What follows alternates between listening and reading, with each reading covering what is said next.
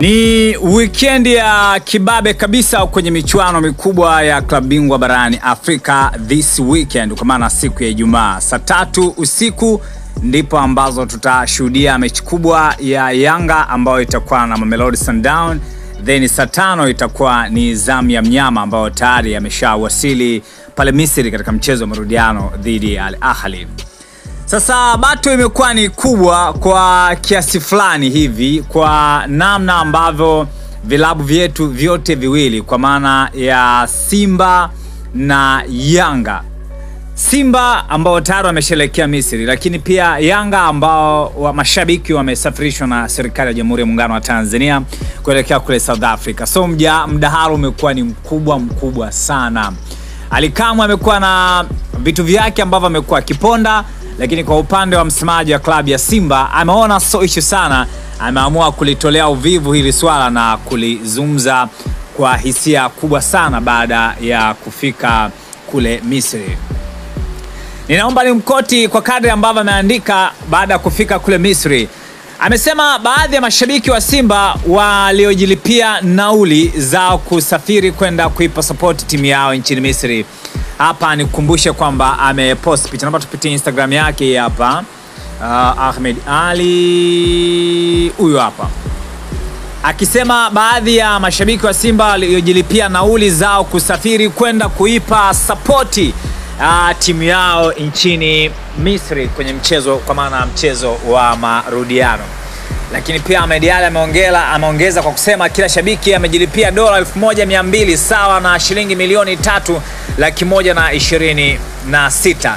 Ili suala la serikali kusafirisha mashabiki, nitatoa maoni yangu nikimaliza nikimalizana na Al Ahly. Sasa hivi akili nawaza namna kufuzu nusu fainali, ile msimamo wangu ni kwamba si jambo jema hata kidogo kwa mashabiki wa mpira, ni starehe, hivyo serikali haiwezi kugharamia watu kwenda kustarehe. Ameongeza kusema kwamba tena mashabiki ingekuwa imetoa usafiri tu, lakini bado wametoa posho dola 500 kila kichwa, sawa na milioni elfu moja milioni moja na laki mbili. Kwa ufupi, hawa mashabiki wamenunuliwa na wanalipwa kuishangilia timu yao. Huyu ni semaji la Simba Ahmed Ali ambaye ameendelea kuzungumza kwa namna gani ambacho kile ambacho ni kama hajapendezwa na kile, lakini bado ameendelea kusema, na hao sio mashabiki wa kawaida, ni machawa wanaotetea maslahi ya viongozi wao. Yaani serikali imelipia machawa watu, walipia nauli sio kuwapenda, ni kufuga tatizo ambalo baadaye hatuwezi kulitatua. Leo unalipia mashabiki wa club, kesho Alikiba ataiomba serikali kugharamia mashabiki wake kwenda Marekani kufanya show, utamnyima? Twa Kiduko ataomba aende kupigana Uingereza na mashabiki wake, utamnyima? Alafu nyie nyuma mwiko, acheni kuzuga, hawezi kulipia nauli watu 48 ukajidai eti tunawapenda mashabiki zenu, wakati kwenye mechi yenu juzi mashabiki wameumia, wamepigwa mabomu ya machozi, watu wamepata vilema na hamjasema lolote, uje uzuge eti unawapenda mashabiki zenu. Lakini pia amesema, ndugu zangu na Simba, ili swala lisiwatie unyonge E, akiendelea kusema kwamba ndugu zangu wana Simba, ili swala lisiwatie unyonge na wala serikali yenu haina nia ya kufanya ubaguzi. Sisi tunaendelea na utamaduni wetu kujisimamia, tukipata msaada tutauchukua, lakini katu tusilalamie, tusilalame kusubiri, tusitegemee au tusilemae kusubiri dezo. We are Simba, sisi ni wakubwa, sisi ni wafalme, sisi tuna hadhi kubwa. Sasa hayo ni maneno ya semaji la klabu ya Simba Ahmed Ali akiwa kule Misri. Komenti yako ni ipi? Na ameonyesha kugadhabishwa kabisa na hajapendezwa na kile ambacho kimefanywa na serikali baada ya kuwagharamia mashabiki wa Yanga wote, lakini sio kuwagharamia usafiri pia na kupewa dola mia tano karibu milioni moja na laki mbili kila mtu kwa ajili ya matumizi yake. Drop comment yako kile ambacho kimefanywa na semaji la Simba Ahmed Ali baada ya mashabiki wa Yanga E, kupewa ile unaweza nikasema donge nono, lakini tumpitie bwana Alikamwe anasemaje huko. Yes,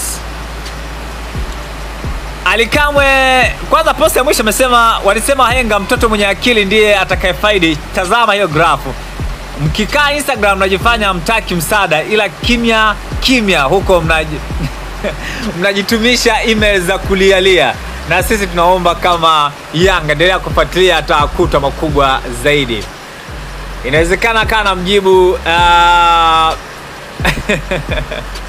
anamjibu Ahmed Ali baada ya kuona ile post yake, lakini kimsingi bwana, Yanga tayari wameshafika, wapo South Africa na tutategemea kutakuwa kuna mechi kubwa this weekend, mechi kubwa kabisa ya bingwa barani Afrika kama ambavyo amezungumza Bakana ndo mnyetu, msikilize kidogo.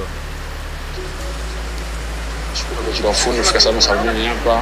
Naweza leo tumeanza kama unavyoona hivi, session nzuri. Oh yeah.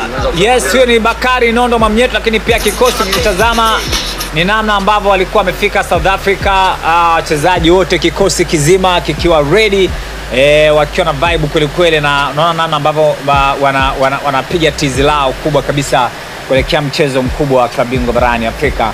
Of course Ijumaa mbivu na mbichi ni kushinda kesho tu, tutajua nani amekuwa mkali zaidi, lakini kwa upande wa mnyama actually tayari ameshafika Egypt na yuko salama kabisa kama ambavyo unawatazama, wametoka pa saa 11 na amefika kule kwa muda mzuri. Patrick Zoemenda, Kibdi Kibdianis, uh, wako wengine wachezaji wengi eh, mabeki hawa na watu wengine, kikosi kizima tayari kipo kule kwa ajili ya kuipeperusha bema bendera ya Tanzania. Lakini hili bato, mimi na wewe inawezekana hatuhusiki. Nataka utuachie maoni yako, unazungumziaje baada ya semaji kuonekana kama kugadhabishwa na kuto kupendezwa kwa hiki ambacho e, kimefanywa na serikali baada ya kuelekea mashabiki wa klabu ya Yanga kuelekea kule of course South Africa. Endelea kuenjoy na endelea kubaki hapa kwa sababu kesho itakuwa ni siku ya press. Pasipo shaka tutapata habari mbalimbali, lakini nikujuze kwamba mashabiki wa Simba hawajafurahishwa hata kidogo, yani hata kidogo. Yani ukimsikiliza Kisugu, ukimsikiliza mtu yote, wameghadhabishwa kabisa kabisa na kile ambacho kimefanywa na na serikali by the way kuwalipia mashabiki wa Yanga ambao wameelekea kule South Africa kwenye mchezo wao dhidi ya Mamelodi Sundown. Uh, lakini mwisho wa siku wanasema kwa vyote vile kinachohitajika ni Simba na Yanga kufuzu kwenye hiyo michuano, at least waweze kufika katika hatua ya robo fainali na kutengeneza rekodi nzuri, lakini pia kuifanya soka letu la Tanzania kuwa bora zaidi. Ni kuahidi kwamba siku ya kesho uh, kuna mengi zaidi ambao watajiri katika viwanja vyote kaskazini mwa Afrika, lakini pia kusini mwa Afrika. Hiyo ndo ilikuwa siku ya mechi ya Simba dhidi ya Al Ahly kama mnanyona mashabiki, lakini pia tutakuletea update zote ambazo tutajiri, lakini good news sana ni siku itakuwa ni siku ya Ijumaa ambapo mitananga hii mikubwa itacheza Pasipo shaka watu wengi wanasubiri kuona nini ambacho kitaajiri. Mimi na wewe uh, tukae tu tusubiri. Endelea kuenjoy, keep watching Mabala TV. God bless you.